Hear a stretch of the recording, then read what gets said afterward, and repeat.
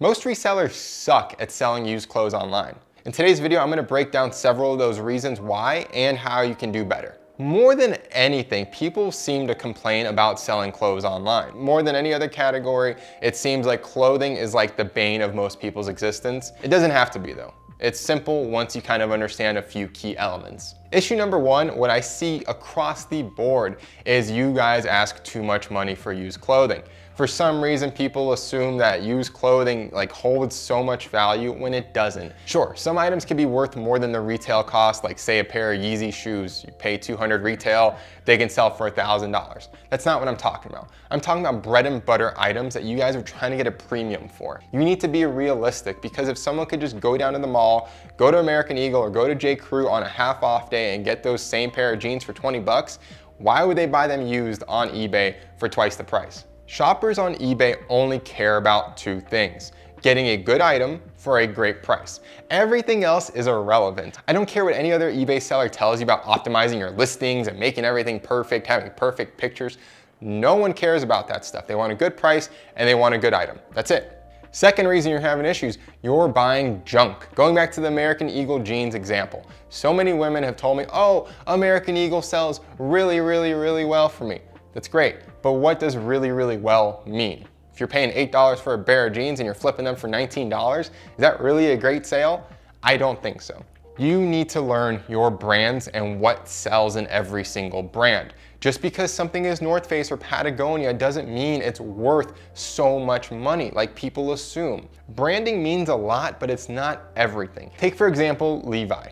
They're known for jeans and they're known for jackets. They're not known for all of this other modern stuff they've made like shoes and t-shirts and stuff you find at Ross. That stuff is garbage. You cannot give it away, but you can sell a pair of vintage Levi jeans for $10,000 if you find the right one. So that's the thing. It's learning what every brand has to offer and what people are actually seeking in those brands. That is how you make the most amount of money. Reason three, Stop buying damaged items. People don't want things with stains and holes and rips and tears and smoke smells. People don't want that stuff. Sure, you can still sell those items as damaged. You're gonna get way less money for them, but is it really worth your time? Is it worth the customer's time? Most of the time it's not. Going back to the vintage example, maybe a pair of beat up Carhartt pants that are covered in paint or like a distressed Levi's jacket, that's different. Those can actually bring a premium from being distressed, which is crazy, but it's true. Take your basic pair of American Eagle jeans and they're covered in stains, no one's gonna buy them. You're gonna sit on them and you're gonna sell them for $6 three years from now. So don't waste your time. Buy stuff in good condition. Four, your listings suck. I am the laziest reseller in the world. I do not work that hard on my listings. I try to get a eBay listing done in under a minute and a half, but my listings are still better than 99% of sellers that I see. Like when I'm shopping for myself and I go onto a listing and I look at the description and all it says like this item is shipped with priority mail. And that's literally all the description says. I 99% of the time don't buy that item because I do like to see the measurements. I do like to know if there's any damage. If you're posting just photos and you're not including a single word about the item, whether it just says in good use shape or maybe it has a mark, blah, blah, blah, you need to include that stuff. And you need to include measurements. Guys, People look at those. They ask for them all the time, so include them. You don't need to go crazy and measure the whole garment, just two basic measurements. For pants, it's waist flat and the inseam. And then for tops, all you need is the pit to pit and then the length in the bottoms. Now people may message you and ask for other measurements, but 99% of the time, those measurements are enough for most people. The worst thing that can happen is someone clicks on your listing and they don't see measurements, so they go to another seller that did include measurements. You just lost the sale, or they have to message you to get measurements and in that time of you replying back to them, they found another item, so again, you lost the sale. Include the measurements, be good to go, and you'll be happy. And reason five, your pictures probably suck. I don't try that hard, again, for pictures. I'm very lazy, but I at least try to put everything on a white wall, have a decent light, and kind of just show the whole item.